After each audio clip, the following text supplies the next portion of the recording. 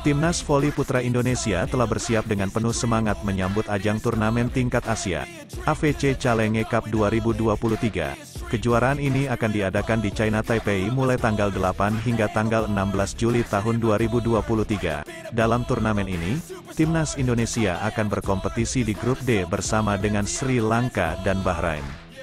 Banyak yang penasaran mengenai peringkat Timnas Putra Indonesia dalam FIVB Dunia.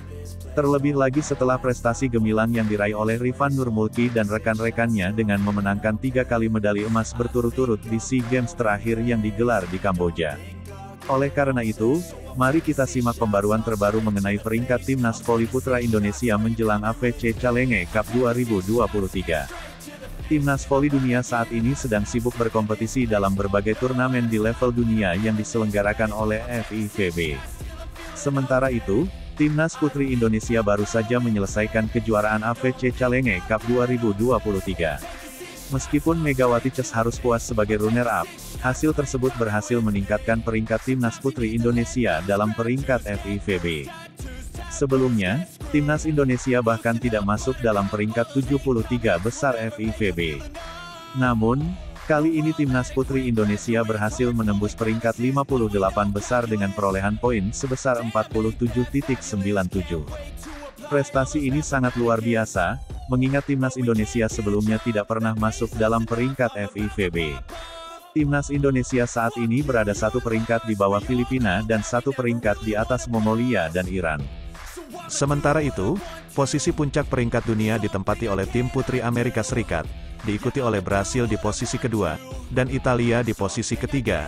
Jika timnas putra Indonesia terus aktif berkompetisi di ajang internasional, maka posisi mereka dalam peringkat FIVB akan terus meningkat.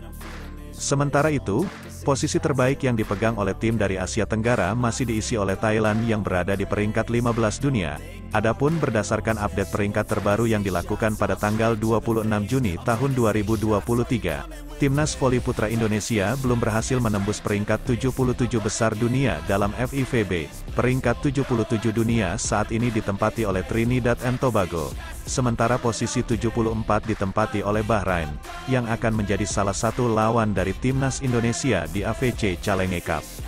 Posisi puncak dalam peringkat dunia saat ini dipegang oleh Polandia, disusul oleh Amerika Serikat di posisi kedua, dan Brasil di posisi ketiga. Sementara itu, Jepang masih menjadi tim Asia dengan peringkat tertinggi, berada di posisi ke-6 dunia, diikuti oleh Iran di posisi ke-11. Peluang timnas Indonesia untuk merangkak naik dalam peringkat FIVB sangat terbuka, terutama jika mereka dapat mencapai prestasi yang gemilang dalam AVC Challenge Cup 2023 yang akan digelar di China Taipei pada bulan Juli mendatang.